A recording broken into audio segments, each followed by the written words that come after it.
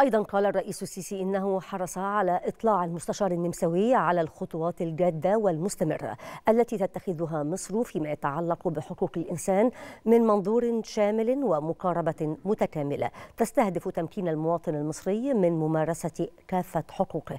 يأتي ذلك فيما أكد الرئيس السيسي استعداد مصر الدائم للحوار والتعاون البناء مع شركائها فيما يتعلق بهذا الملف المهم.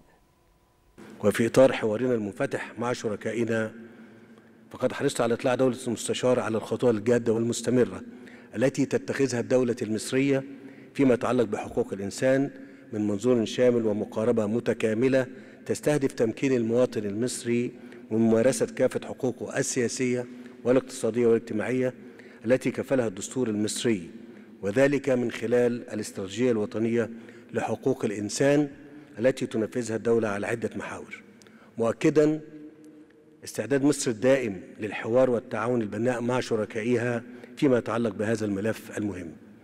كما أطلعت الجانب النمساوي على النجاح الكبير الذي حققته مصر حكومة وشعبا في مواجهة ظاهرة الإرهاب والتطرف خلال السنوات الماضية.